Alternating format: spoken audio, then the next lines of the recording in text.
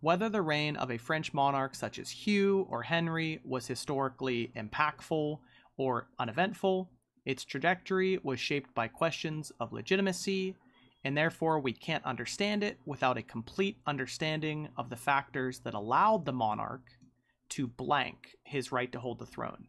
So I think our words in this one are going to help a lot.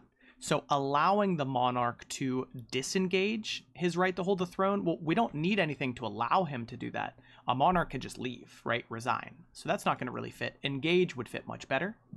Uh, annotate, to take notes of or add notes. Allowed the monarch to add notes to his right to hold the throne. That's just not going to fit at all. We need something much more powerful. Uh, jumping down to reciprocate, if I give someone a gift and they reciprocate that by giving me back a gift, I don't think a monarch and his right are going to be able to reciprocate things back to each other. And finally, we have buttress. So this is where we can also just practice like what type of word can go here.